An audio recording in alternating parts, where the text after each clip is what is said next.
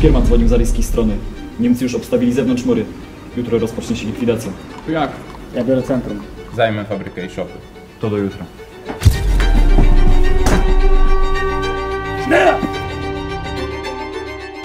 Źle się to ma.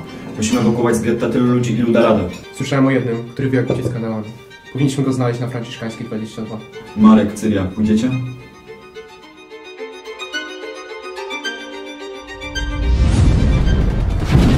Musimy wrócić. Spóźniliśmy się. Niemcy nas otoczyli. Powiedzieli, że każdemu, kto wyjdzie, będzie darowane życie. Cywile już uciekają. Zostajemy. Puścili gaz.